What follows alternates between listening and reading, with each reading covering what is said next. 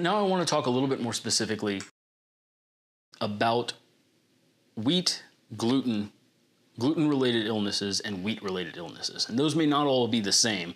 We're going to kind of dive into some of the subtle differences between those. Let's get back to basics. Wheat gluten is a polymer. That means that it's composed of small units that bind together into long sheets and create chain or thread that then can bind sideways, the, the threads can bind into a sheet. The binding on a chemical level allows for a certain amount of stretching and a certain amount of uh, elasticity. And those are controlled by the components of gluten. So there's gliadin and there's glutenin. Gliadin is alcohol soluble, it's a single molecule. It gives viscosity, elasticity to the dough. Glutenin, actually, we don't know as much about. It seems to be a bunch of different molecules that are all kind of lumped together. It's not soluble in alcohol. That's how, it's, how we got its name. That's how we originally made the distinction is we took a bunch of gluten molecules and dissolved them. And the part that dissolved in alcohol we called gliadin. And uh, the part that didn't we called glutenin. We're still not sure exactly about that glutenin portion. But that, that portion does seem to be responsible for giving the extensibility to the dough. The gliadin is also the part that is associated with celiac disease. So, in celiac disease, our bodies, our intestines develop an antibody against the gliadin portion of the gluten molecule and recognize that as an invader and, and generate an immune response to that. One of the more interesting parts of gliadin that's important to know is that gliadin actually can pass through the wall of the intestine whole. So, despite it, it, the solubility things we talked about before, one of the problems is even as gluten is broken down, the gliadin molecule doesn't stay, even though it's a relatively big molecule, doesn't necessarily stay in the intestine. It can pass through and generate an immune reaction even outside the intestine. So even if we think of celiac disease typically as being related to bloating or diarrhea or intestinal malabsorption or other GI problems, you can actually have a lot of other manifestations of celiac disease, joint pain or rashes, other things, because the gliadin molecule has exited the intestine.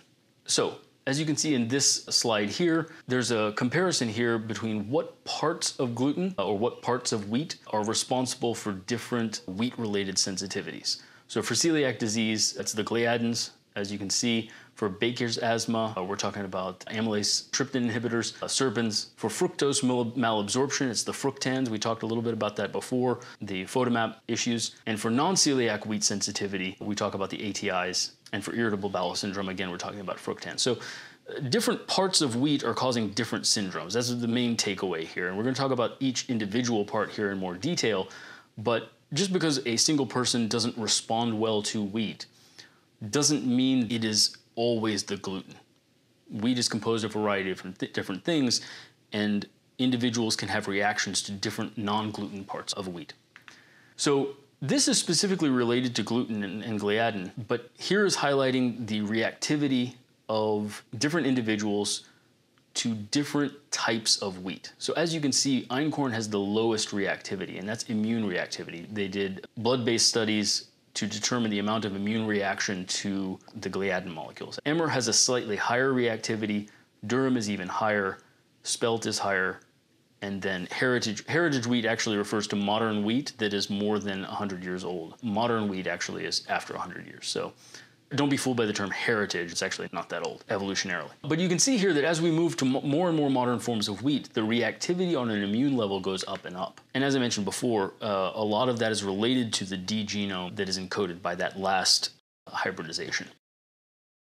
By contrast, einkorn only has that A genome, so A, B, and D. Einkorn only has the A, which doesn't seem to generate that same degree of immune reactivity. So if you measure things like cell growth, immune activation, apoptosis, release of various uh, nitric oxide and various other inflammatory mediators, einkorn doesn't seem to generate those same reactions immunologically. There have been a few studies in actual people. And so in medicine, we always have to be hesitant to extrapolate from what we see in a lab or in a test tube to what's going to happen when you actually expose people because something can look great in the lab, but then you realize it doesn't work out. The few studies that have been done in actual human beings, however, seem to bear this out.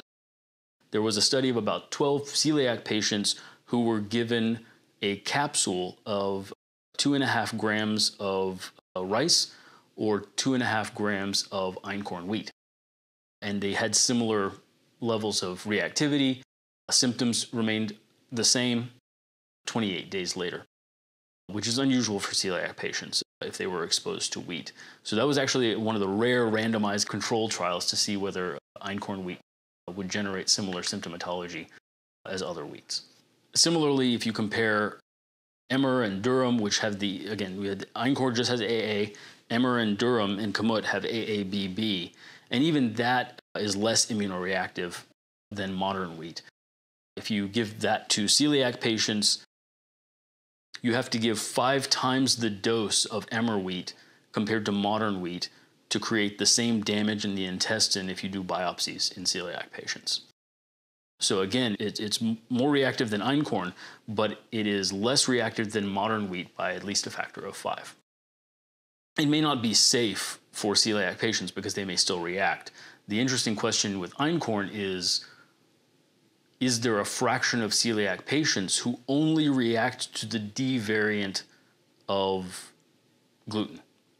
And that was what was shown in that small study of 12 patients is that even giving them einkorn wheat actually didn't produce symptoms and opens an intriguing possibility for celiac patients, even full fledged celiac patients, that this may be an option for a certain percentage of them to consume wheat products. Um, the other product that is present in wheat is something called amylase trypsin inhibitors. So, amylase is an enzyme in your saliva uh, that breaks down uh, starches, breaks down carbohydrates into sugars. It's why if you take a piece of regular white bread and you chew it long enough, it will suddenly become sweet. Uh, it's because the amylase in your saliva is breaking that down. You also have amylase in your intestine that helps break down those long starches. Interestingly, several wheat varieties encode for proteins that inhibit that amylase. So they prevent it from working. And the idea there is that in the wild, the wheat uh, grain strategy is to get an animal to eat it and poop out the seed so that a new plant can grow. Well, if the seed is damaged in the process, then that doesn't work. And so these wheat grains have actually learned to produce substances that inhibit the digestive enzymes in animals and, and in us. And so those are called amylase trypsin inhibitors, ATIs. And what's interesting is that only the B and D genomes are capable of producing these ATIs. The A genome is not actually capable of producing ATIs. So einkorn wheat does not have any of these substances, only Emmer, durum, kamut, and modern wheats, including spelt, are capable of even producing these. And the interesting thing is that these ATIs actually produce a similar inflammatory reaction as what we see in celiac disease. So even though you don't have an antibody to gluten the way you do in celiac disease, these ATIs can produce a similar chain reaction of inflammatory reactions as what you would see in celiac.